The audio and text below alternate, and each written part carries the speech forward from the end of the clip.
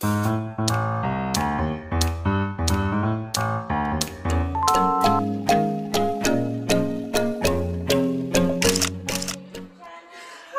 Gayron. Hi guys, kamo. ah, Guys, welcome back sa channel. Yung magluto tayo ng home baked pizza. mga tira-tirang Mga tira-tirang tinapay. Spaghetti sauce. Meat. kesa sa itapon. Cheese. Tapos ang gawin pa yung ano ah, yung CD. And then mamaya, pagtapos na lahat, i-bake na natin na. So watch out later. Later. Eto na kang Ito na yung CD, oh, luto na. Kaka yung sibuyas. So, yun, a-assemble na natin.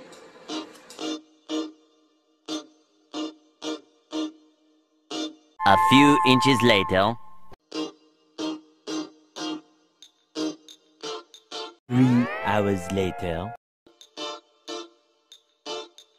Approximately 10 hours later.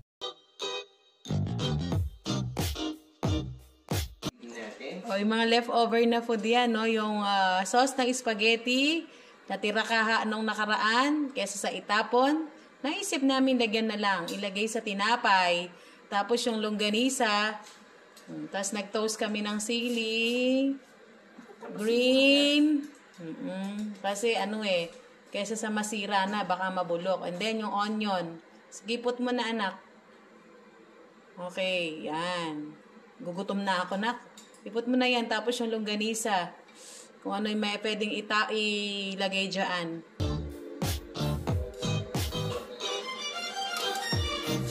Mga leftover lang po yan. Kesa sa itapon, yan na po naisip namin gawin. 2,000 years later.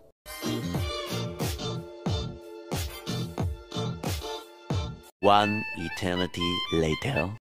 Next longganisa naman.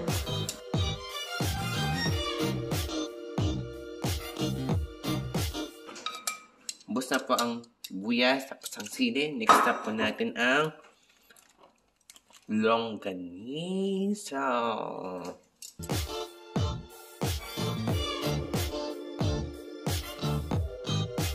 One minute, 37 seconds later.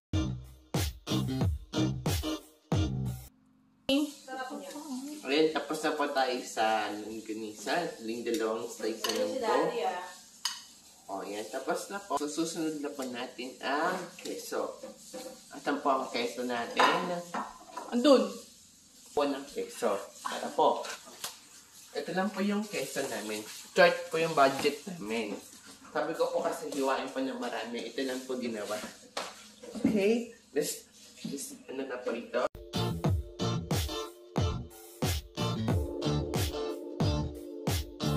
Just then.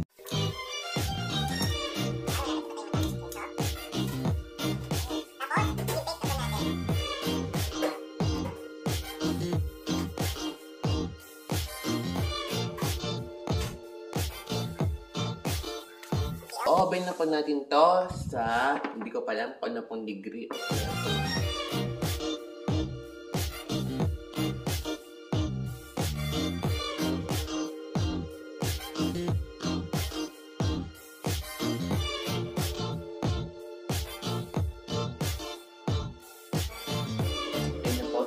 One shift later. Isa po ang pagluluto pa ng pizza.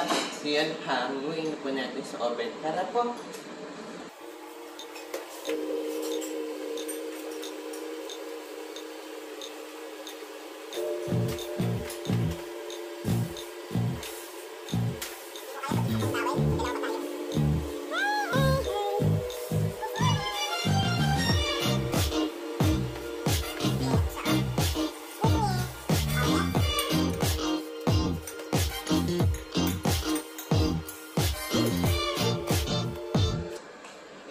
Sticky man time. Okay. Hmm. Hmm, sarap. Sarap yan. At dyan na po nagtatapos ang ating vlog for today. So, see you on my next vlog. Bye-bye!